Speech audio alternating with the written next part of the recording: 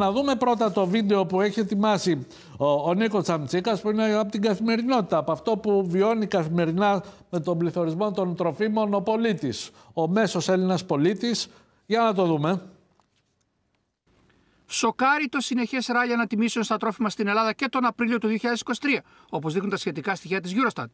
Η πληγή της ακρίβειας στα τρόφιμα και τα είδη πρώτης ανάγκης παραμένει ορθάνικτη και πιοροούσα με την κυβέρνηση Μητσοτάκη να έχει πλήρω αποστασιοποιηθεί, αφήνοντας στου καταναλωτές τη μοίρα τους με άλοθη το καλάθι του νοικοκυριού του Άδρου Γεωργιάδη, δηλαδή τη μεγαλύτερη αποτυχία πολιτικών μέτρων κατά το αυξημένο κόστος ζωής που υπήρξαν ποτέ.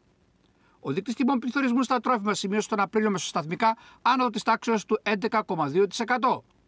Τα αυγά σημείωσαν αύξηση μέχρι 17,9%. Το ψωμί 17% το βούτυρο 16,8%, τα λίπη και τα έλαια 16,3%, το μοσχάρι 15,2%, τα φυτικά λίπη 14,8%, το κρασί και η μπύρα 14,4% και το τσάι, ο καφές και το κακάο 12,1%.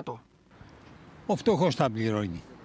Κανένας πλούσιος. Ο πλούσιος, όσο και να είναι, κάτι περισσεύουν να φάνε. Ενώ ο φτωχός τα μετράει όλα. Για μια οικογένεια πόσο, μια τετραμελή οικογένεια. Δεν φτάνει 100 ευρώ γιατί να πάρει και στο παιδάκι του κάτι.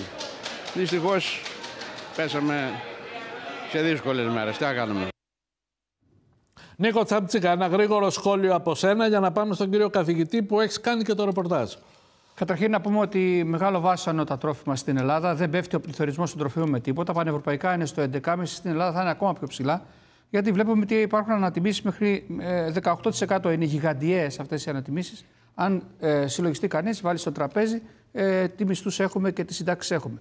Το θέμα τώρα εδώ είναι οι υποσχέσεις που δίνουν τα κόμματα προεκλογικά και θα μείνω σε αυτό το θέμα, δηλαδή τη αυξήση των μισθών ή σε κάποια αυξήση της συντάξης ή ακόμα και αυτά τα ΠΑΣ, τα περίφημα ΠΑΣ, που είτε τη δίνουν από το Ταμείο ε, ε, Δημοσιονομικής Ανάκαμψης. Ε, εδώ υπάρχει εντολή από την, ε, τράπεζα, την Ευρωπαϊκή Τράπεζα την Ευρωπαϊκή Κεντρική Τράπεζα, υπάρχει εντολή για αυστηρό δημοσιονομικό έλεγχο στην Ελλάδα. Μπαίνουμε υπό επιτήρηση αμέσως μετά τις εκλογές. Αυτή είναι η πραγματικότητα.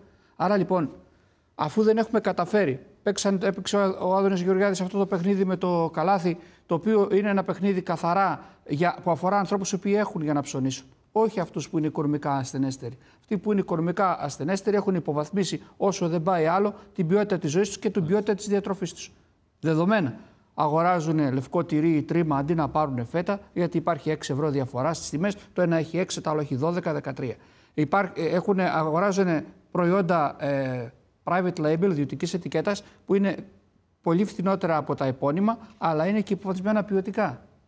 Ε, αυτό λοιπόν έχει σαν αποτέλεσμα να έχουμε μια ποιότητα ζωής η οποία δεν αξίζει στο μέσο Έλληνα καταναλωτή.